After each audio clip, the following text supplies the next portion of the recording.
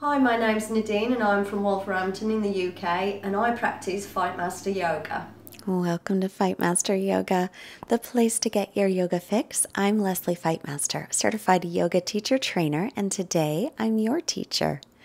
This free YouTube yoga video is yoga for roadies, or could be called yoga for travelers or backpackers. I have Matt West joining me today. He's a sound engineer and production manager for the band called Phoenix. Matt travels a lot and has been practicing online with me for five years. He wanted a class that's good for lower back pain due to an injury that he has and because it bothers him because he travels so much. So let's begin sitting up nice and tall, bringing our hands together. This is an affirmation for the low back. I deserve to enjoy life. I ask for what I want and I accept with joy and pleasure. So let's release that and we'll make our way into child's pose. So, coming into child's pose with the arms extended in front, knees wide so your belly can rest between the thighs. Start to spread out the fingers, pressing into the base of your fingers. Active arms lifting up through forearms and then pressing your hips back toward your heels to stretch out your back. Take a couple long, smooth breaths. You can let your head rest down or keep it off the mat. Next exhale, take your hands to the right and shift your hips to the left so you can stretch out the side body. Inhale to center as you exhale, hands to the left and hips over to your right.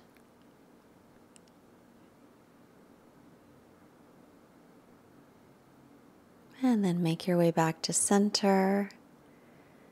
And then inhale onto the hands and knees and line up your wrists under shoulders with knees under hips.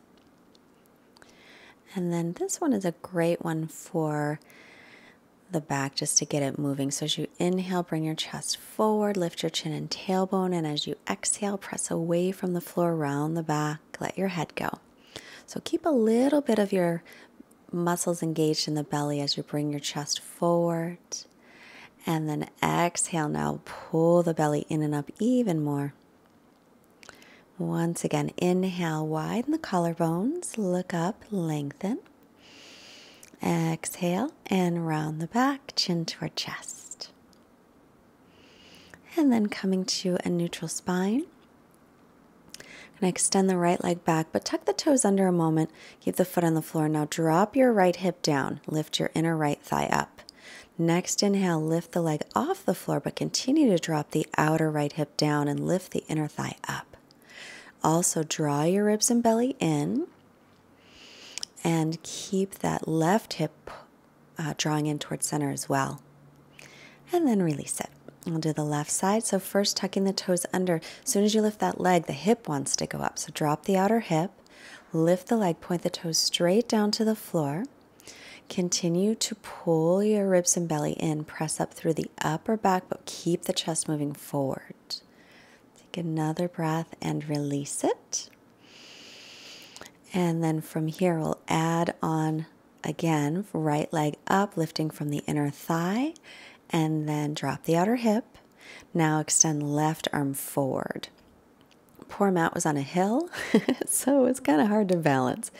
Pull the ribs and belly in and up, and continue to drop the outer right hip down so that hips are level. Release. So, again, really engage your belly muscles a lot. As you extend left leg back, lift it up from the inner thigh, drop the outer hip down. Press through the upper back, belly and ribs in, right arm forward, balance. So, the more you can lift your ribs and belly in and up, and keep outer hips and inner thighs engaged, the easier it'll be to balance. Release. Then walk your hands forward about a handprint, tuck the toes under, stretch up and back for downward facing dog, and then bicycle the legs as you warm up here in your first one. Now, bending both knees to stretch back, get really long through the spine. Arms are shoulders distance, feet are hips width. Press into the base of your fingers. Turn your outer upper arms back. And then inhale to plank pose, top of a push up. Knees down for this one. And then shifting forward, lower all the way down to the belly. Slide the hands by the low ribs and untuck your toes. Pull belly away from the floor. Inhale for cobra. Lengthen your sitting bones toward the heels. And then lower back down. And then as you inhale, hands still by. At this time, bring arms in front, palms facing each other. You can let your forehead rest on the floor. Draw your belly away from the mat. Tailbone lengthens toward heels. Now keep that. Keep pressing the pubic bone down gently as you inhale, lifting your right leg and left arm. Lift the right leg from the inner thigh just like you did in table position. Drop that outer hip down. Take a long breath and release it. And now we'll inhale the left leg up, right arm forward, and drop the left hip down. And you can keep your head down or lift it, whatever works better for you, but pull the belly in and keep lengthening through the lower back. Release it. Hands by the low ribs again, or just kidding, arms by your sides, palms facing in. Now, same actions lengthen tailbone toward heels, pull the belly in, roll the shoulders away from the mat, and then inhale, lift the legs. Lift them up from the inner thighs and the outer hips are still going to roll down toward the mat. Keep the back of your neck long as you breathe here. Take another breath and let it go. Really good for strengthening your back muscles. Bring your hands by your low ribs. Take an inhale and come to cobra or into up dog. If you're in up dog, thighs and knees off the floor. And then exhale, make your way back into downward facing dog. Again, arms, shoulders distance, and feet hips width. Keep pressing the weight up to the heels or up to the hips, down to the heels. Spin the inner thighs back and let your head just hang so that your ears and arms are about the same line. Another breath here. Then bend your knees and look up and walk your feet forward or lightly hop. Inhale halfway up, hands to shins or fingertips down. Then exhale, fold forward and bend the knees as much as you need to. Then inhale, reach all the way up. Matt bends his knees as he comes up to protect his low back. If you have back issues, definitely a great modification. Come to the front of the mat in Tadasana. Feet hips width or together. Press evenly through the four corners of the feet as you lift and firm the legs. Inhale, sweep the arms up, look up. Exhale, hinge from your hips and fold forward over the legs. Bend the knees as needed. Then inhale, come halfway up, lengthening the spine. Exhale, make your way to plank pose. And then hug the elbows in as you lower. Shoulders no lower than elbows, chaturanga. Inhale, upward dog or cobra. Get your shoulders above the wrists. Exhale, stretch into down dog. So as you stretch back, Imagine that I'm there pressing at the base of your spine, just lengthening your spine, giving you more weight toward your legs and your hips. Keep pressing on the thumb and first finger side of your hand as you spin the outer upper arms back and just let your head hang. No need to hold the head up. Then look forward and step the feet to the hands. Inhale, halfway lift. And then exhale, fold hips over heels if the legs are straight. Press through the feet on your inhale with a long spine, reach up. And exhale, bring hands to hearts. And again, Surya A, inhale, sweep the arms up. Exhale, hinge from the hips and fold forward. Matt touches his legs as he moves forward to protect his back, which is great. Come halfway up, inhale. Exhale, step back. And keep lifting the belly as you chaturanga. Then inhale, pressing up, shoulders back and down. Exhale, lift up and back into down dog. Breathe here. Inhales and exhales equal in length.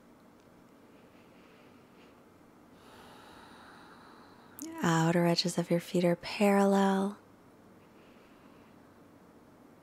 Relax the shoulder blades gently toward the waist. Look up, bend the knees. On an inhale, lightly step or float feet. Come halfway up, lengthen. As you exhale, fold in. Press down, inhale, reach all the way up to lengthen. Exhale, bring hands to heart. Once more, reach up on your inhale, look up, lengthen. Exhale, folding forward, hinging from the hips. Inhale, lengthen the spine halfway up. Exhale, step or float back, finding chaturanga. Hug elbows in, bellies lifted. Inhale, upward dog or cobra. It's always your choice. Exhale, tuck the toes, lift up and back, downward dog. Even out the breath so inhales and exhales are equal. Turning outer upper arms back, inner upper arms forward as you press into the thumb first finger side of your hands. And stretch back. Feel free to bend both knees and stretch way back. So you're really long. From here, we're going to come into Malasana. So take your feet about as wide as the mat. Walk your hands back toward the feet. Turn the toes out as much as you need so that knees and toes line up as you come into your squat. Fingertips can stay down for support or hands up by hearts. If you have knee issues, please don't go down so low. You could also sit up on a block or two blocks. Breathing here. I love this one for stretching out the low back. So if you can manage it, it's so good. Now we'll take the Right hand down and lift the left arm up and turn to the left so you can get a little twist here, but allow your shoulder blades to release away from the ears.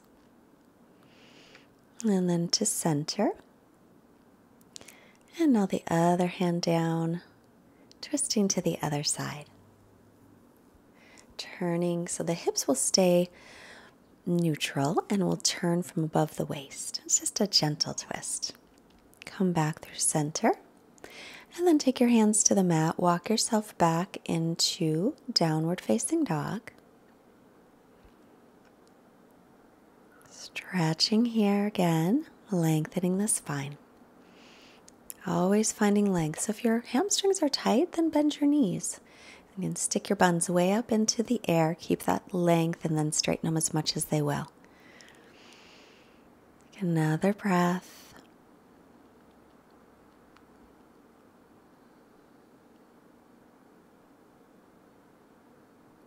And then exhaling everything out. Bend the knees, hips high, lightly step or hop your feet up.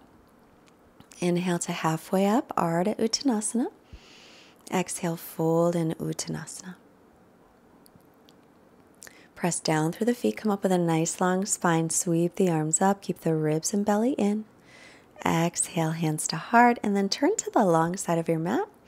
We'll do some standing poses. Step the feet out nice and wide and turn your right leg all the way out and bring your back toes in slightly, lining up heel to arch. Inhale, take the arms up. Exhale, bend the right knee over your ankle. Make sure the knee is lined up with the ankle and move it toward the little toe side of the foot so it's pointed straight ahead. Lift the chest, allow shoulder blades to relax away from ears firmly press to the outer edge of the back foot, press the back thigh back, inner thigh lifts up. then dropping your back arm to reverse. Exhale, bend into that right knee a little more if you can, but relax shoulders. Inhale, come back up. Exhale, take right forearm to right thigh.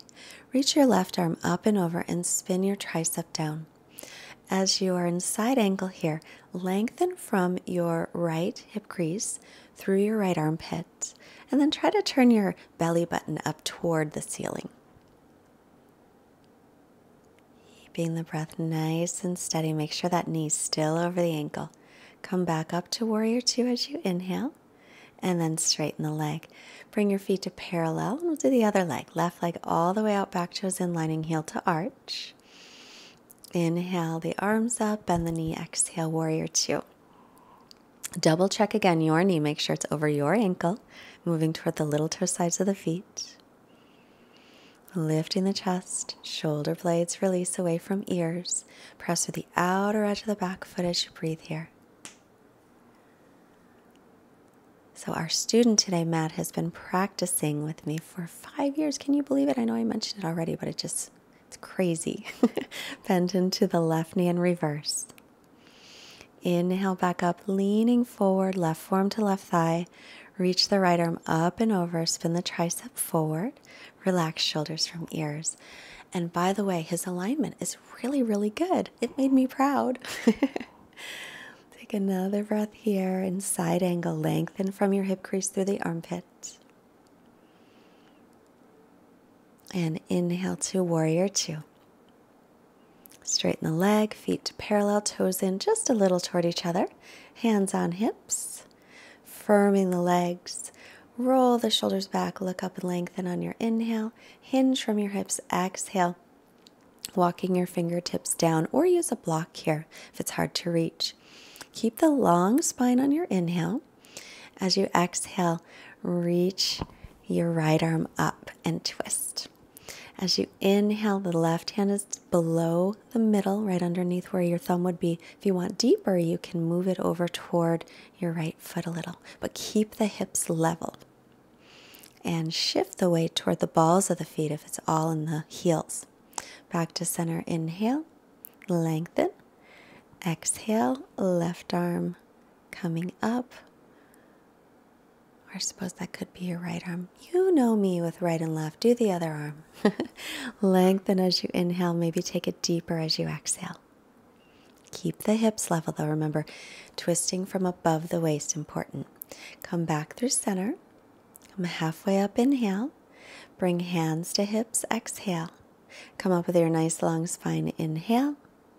And then we'll make our way with the feet back together and to the front of the mat.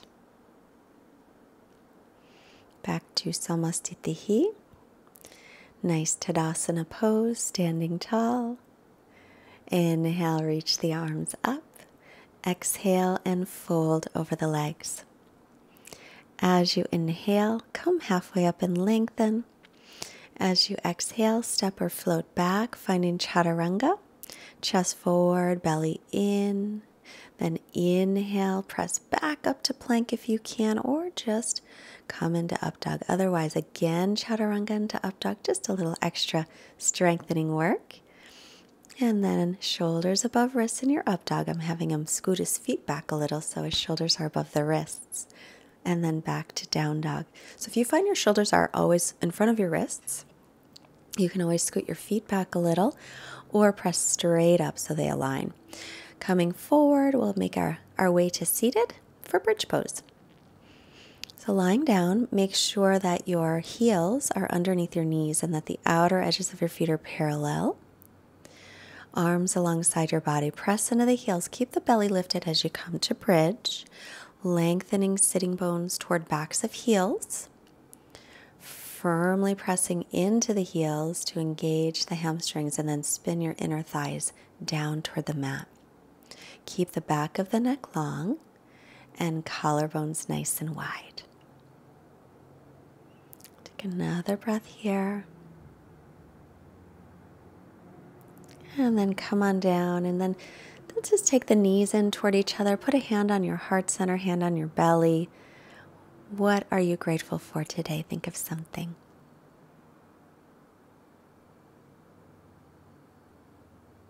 I'm super grateful that I got to meet Matt West after commenting back and forth for five years. It was super awesome. So let's come into bridge again one more time. Press into the heels. Come on up. Roll shoulders under if you can, interlacing fingers. If you have a block handy, you can always take supported bridge instead. Or if you love Urdhva Dhanurasana and you want to take that instead, that's totally okay too. Spin inner thighs down, lengthen sitting bones, and then this time we're adding extend the right leg forward with knees in line. This will strengthen the hamstrings in the back a little bit more and the glutes. Slowly release it down. And then pressing into the heel that's on the floor, extend the left leg forward. Knees are in line. Inner thigh still spinning down. Squeeze outer hips gently. And then release it and come on down, slowly rolling down. And then this time we'll hug the knees into the chest, gently rock a little side to side, give your low back a nice little massage. And then next, we'll come into Supta Padangusthasana. So if you have a strap, you can use your strap for this one. We'll start with the knees bent, feet on the floor, and then extending your right leg up toward the ceiling. Flex the ankle. You can hold onto your right leg anywhere along the leg, or use a strap, or Matt is pretty flexible, so he's grabbing the toe and then extending left leg forward, keeping that ankle flexed. If it's too much to extend the leg, then don't keep it bent. But with the right leg lifted, make sure to draw your right hip forward toward your left foot. We want nice level hips here. Stretching out the hamstrings. This is another one that's really good if you have low back issues, just to keep your hamstrings flexible is important. As you exhale, start to open to the right little by little, but keep the left hip grounded down onto the floor. You can even place your hand on the left hip if you like, just to remind it to stay down. Look over the left shoulder if that's okay with your neck. Inhale, bring it back to center. As you exhale, you'll switch hands either with the strap or hold the leg with the other hand with the left hand as you bring it across for your twist. Look over the right shoulder. We were on a hill, so it was hard for to stay from from rolling over during this twist. Bring it back to center. And then we'll release and keep the right knee bent as you take that foot onto the floor and extend the left leg up. Again, you can hold on to the left leg anywhere. You can use a strap around the ball of the left foot. He's very flexible in those hamstrings. He's grabbing the toe. But if you're not as flexible, you don't have to grab the toe, of course, but draw that left hip forward so that the hips remain level. Make sure the right toes stay pointed up toward the ceiling.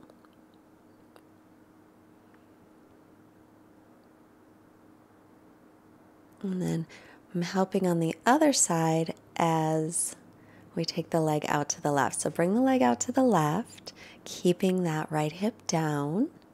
I'm kind of holding on so that Matt doesn't roll down the hill. that wouldn't be good. Bring the leg back to center and then switch hands. So you hold the leg with your right hand, taking it across for your twist. As you're twisting, turn your belly up toward the ceiling. Look over the left shoulder if that's fine with your neck. Inhale, bring it back through center.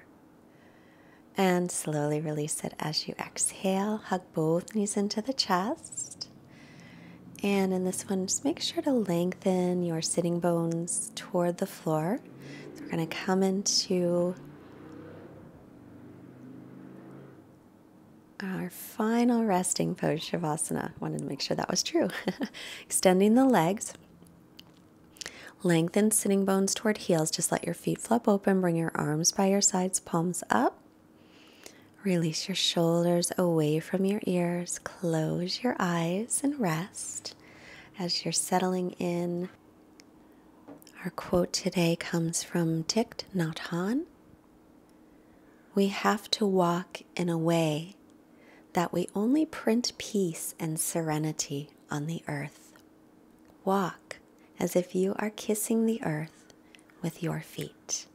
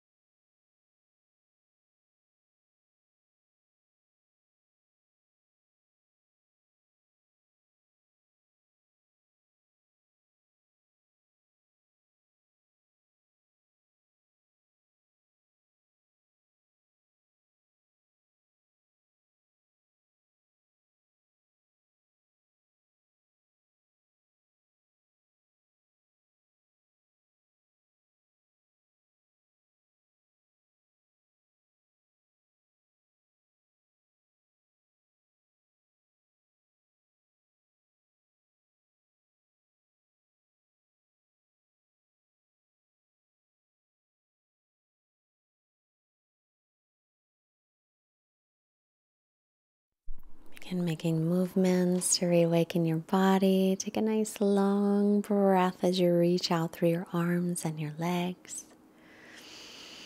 And now bend your knees, roll yourself off to your right side. Thank yourself for taking your practice. Good work today. Let's come up to seated with the shins crossed. And we'll bring our hands together in front of the heart. Bringing hands to forehead, reminding us to have clear and loving thoughts. Hands to the heart center, reminding us to have clear and loving intentions. And hands to the mouth to remind us to have clear and loving communication, sending positive energy out to all beings everywhere. Namaste. Thank you so much for joining me today. And thank you to Matt West for visiting and contacting me. It was so awesome to, to meet him, and it's so awesome to meet all of the Fightmaster Yogi community. Everyone I've met has been amazing. I would love to meet you, as a matter of fact, and I have some retreats coming up. Sedona, Arizona, April 5th through the 8th. Also in Amsterdam, a master class June 23rd and 24th. A retreat in Greece, the Koufonisi Island, June 30th through July 6th. And Morocco, July 8th through the 14th. Go to fightmasteryoga.com for more information. I want to meet you too. Have a great day. See you next time. Bye.